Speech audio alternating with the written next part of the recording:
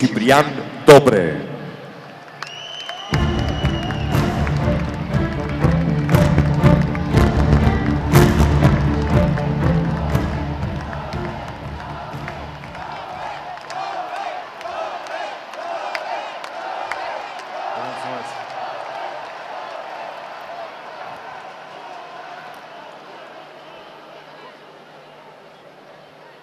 Am venit la dumneavoastră la București pentru a aduce un mesaj din județul Mureș.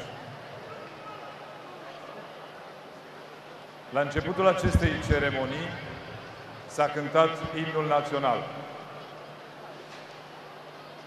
Avem în față drapelul național din piața Universității, în fața căruia trebuie să ne închinăm și să le mulțumim, pentru că din 12 ianuarie ei au reprezentat adevăratul simbol al luptei cu Boc, Băsescu și Udrea.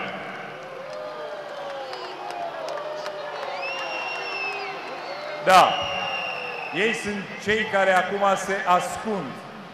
Ei nu mai flutură fularele portocalii, ei s-au ascuns și la Mureș și la Botoșani, sub diferite alianțe. Cred și sper că cetățenii care timp de patru ani de zile au fost umiliți, au fost mințiți, a căror copii nu mai sperau să rămână în România, vor veni pe 10 iunie la vot și vor face dreptate. Cred și vă chem ca în ceea ce privește guvernarea acestei țări să avem încredere. În România trebuie să fie mândră de USL și România are o nouă generație care să guverneze țara.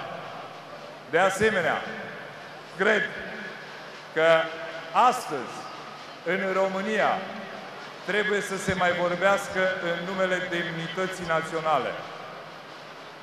România este o cetate care timp de patru ani s-a aflat sub asediu, sub asediul portocaliilor, al pedeliștilor și al udemeriștilor.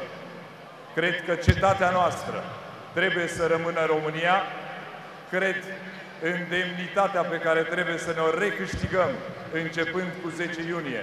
Cetățeanul român nu mai trebuie să fie umilit, cetățeanul român nu mai trebuie să fie considerat un cetățean de mâna a doua la el acasă.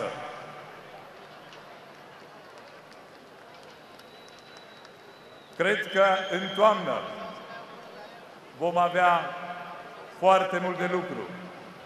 Cred că de asemenea, dacă astăzi la Palatul Victoria este prim-ministru Victor Ponta, la toamnă sper că la Palatul Cotroceni să-l instalăm pe Crin Antonescu.